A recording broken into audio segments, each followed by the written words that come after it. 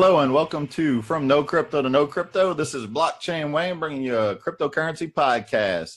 Today's podcast is brought to us by Coincierge Club, mobile private key wallet and point of sale solution. Coincierge Club makes purchasing easy, safe, and overall process more efficient while costing less, helping to make cryptocurrency mainstream. So let's take a look at the market today. Fireworks are finally happening.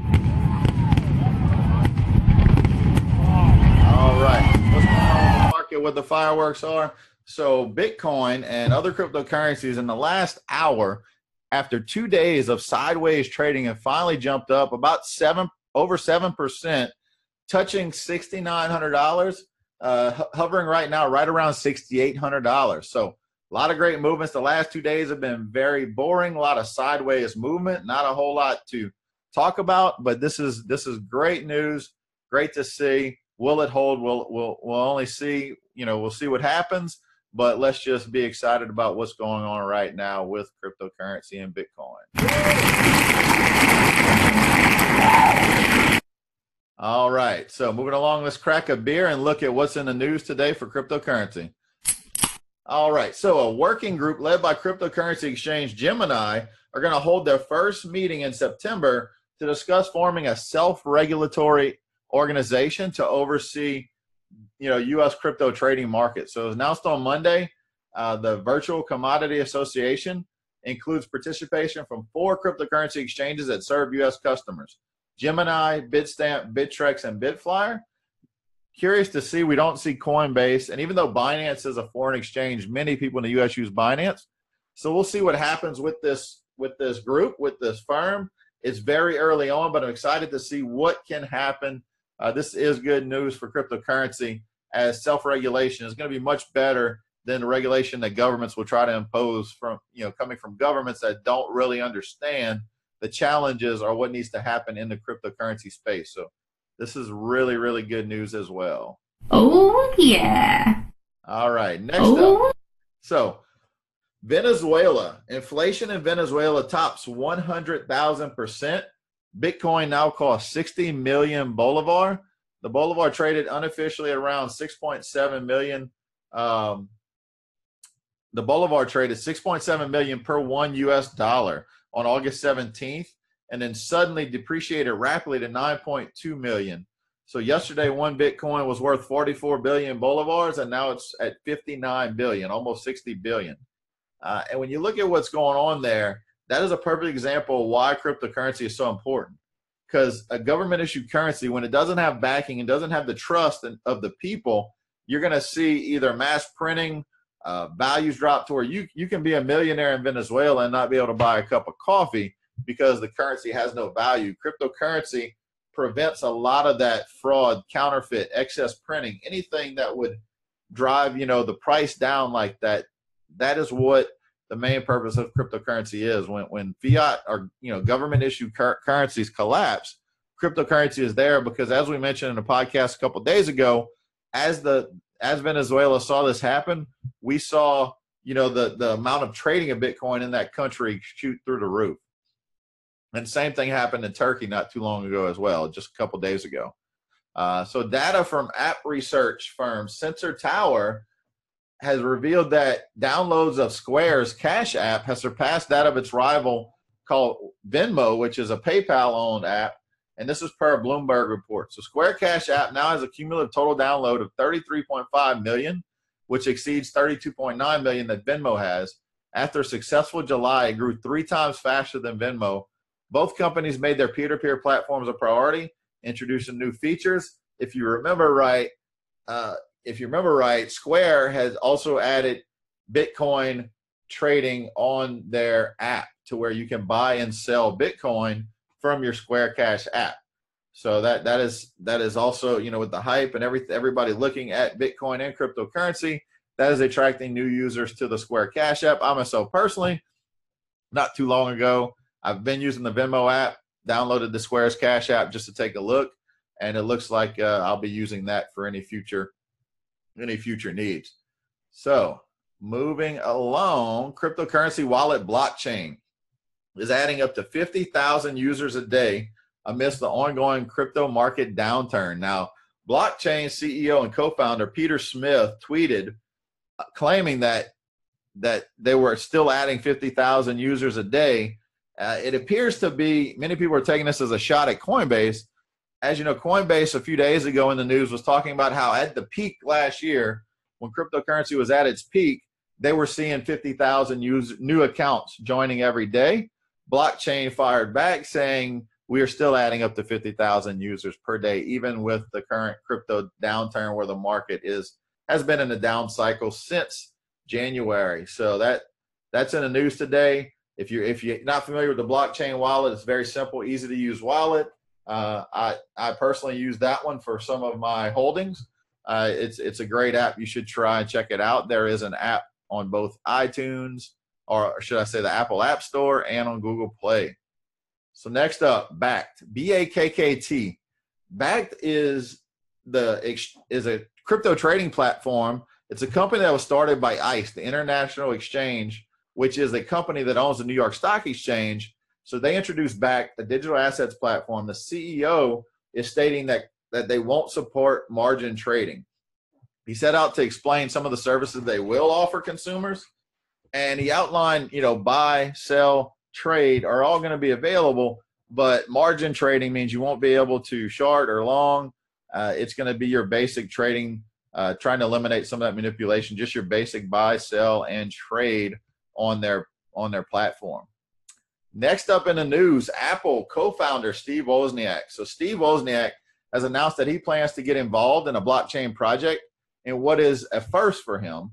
So a statement was made yesterday on Chain Exchange blockchain conference, and you know at the conference it was held in Vegas. Wozniak revealed in an interview that he plans to participate in a blockchain startup, praising the benefits of the technology. He said, "quote I'm involved with very soon my first time being involved in a blockchain company." Our approach is not like a new currency or something phony when, where an event will make it go up in value it's a share of stock in a company. The company is doing investments by investors with huge track records and good investments in things like apartment buildings in Dubai. And that was quoted by Apple co founder. So he explained his fascination with the blockchain technology. It is so independent, he said with an exclamation point. It's kind of like the internet when it was brand new. I was amazed at the technology behind it.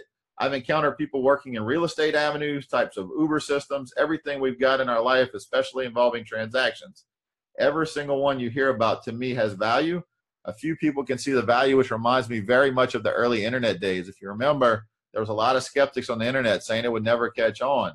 Steve Wozniak, who was a visionary with Steve Jobs, you know, co-founding Apple, is now feeling, you know, having some of these same feelings when he looks at blockchain technology.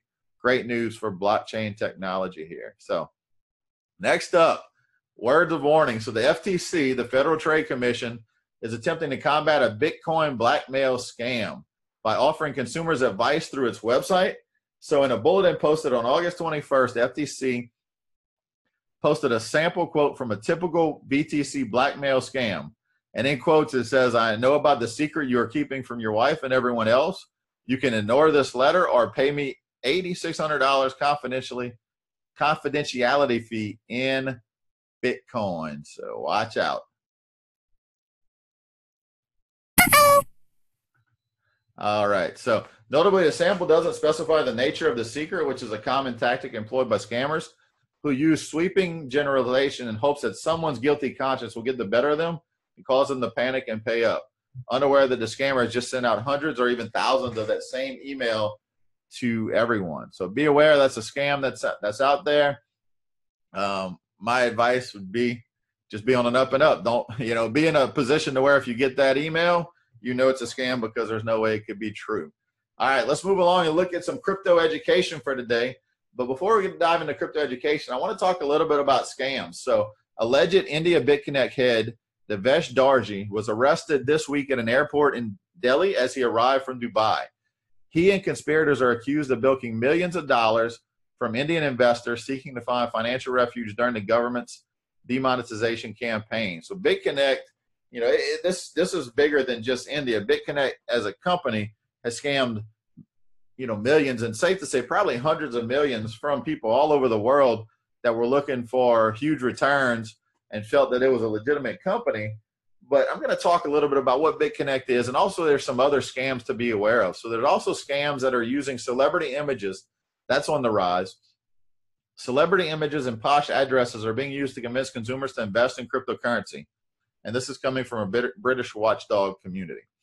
So they want to they see they're seeing an increased number of reports about investment scams claiming to offer high returns, noting that cryptocurrencies like Bitcoin and Ethereum aren't regulated in Britain so those tricked are unlikely to get their money back.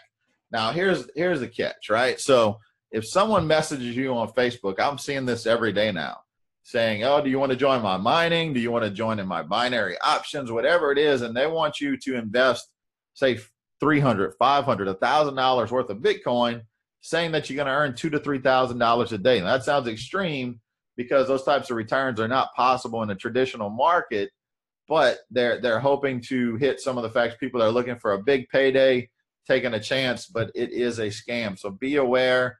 Big payouts.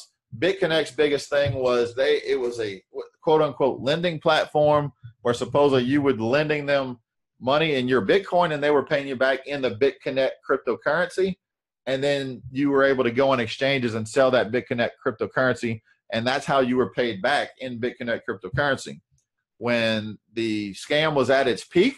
They pulled an exit scam, closed down the lending platform, and that day we saw the BitConnect coin drop all the way from you know over three hundred dollars down to twenty dollars. And now, as of this broadcast, it is trading for less than a dollar, and actually, it's only on still traded on one exchange, and it's going to be delisted from that exchange on September 10th. So, needless to say, this is a worthless cryptocurrency that was at the center of a huge scam called BitConnect. So just be aware any any programs that promise you a set amount of money back, a set percentage, they're going to guarantee you that back. That is impossible. You can't guarantee amounts from trading.